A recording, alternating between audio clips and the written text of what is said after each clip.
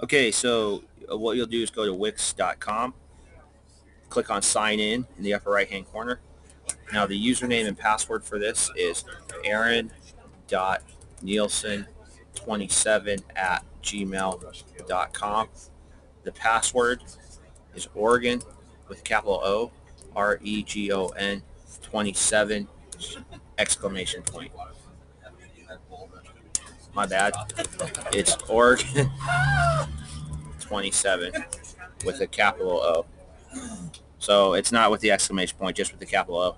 Once you're in, what we're going to do is um, create the shell to a new site.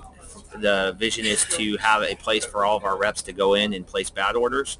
Um, we'll link websites and or uh, email addresses and all that uh, later on. So this is just the skeleton uh, any detail you could think of as far as the bats, the bat cuts, colors, all those kinds of things, um, and, and, certainly get as creative as you want with it. So we don't have the fastest internet on the bus.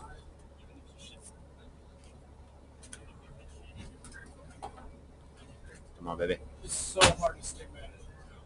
So hard.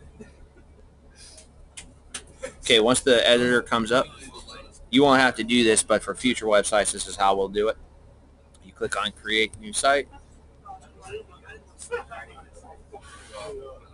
We're going to pull from a template and the only thing that we really worry about for this site is just the function of it. So I'm going to look at just a uh, like a single page, a one call it a one pager.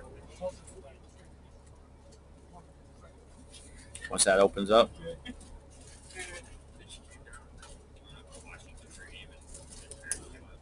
and we're just going to go to something simple. You have to worry about what it looks like. Let's go here. So you, whenever you pick the one that you want, you just click edit. And what we're going to do is we'll add an app to this site. Now apps are anything like a form builder or anything that allows our site to have some type of functionality. So for this particular site, we're just going to have the Harmony Bats. Uh, it'll be something called like Har- Harmony Bats uh, rep website or something like that. Pretty descriptive, straightforward, and obvious. And then we're going to build out the form. The form is what's going to take some time. Um, but as soon as the editor loads, we'll be able to do that.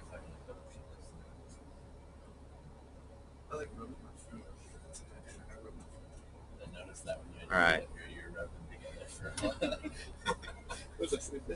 Come on, baby.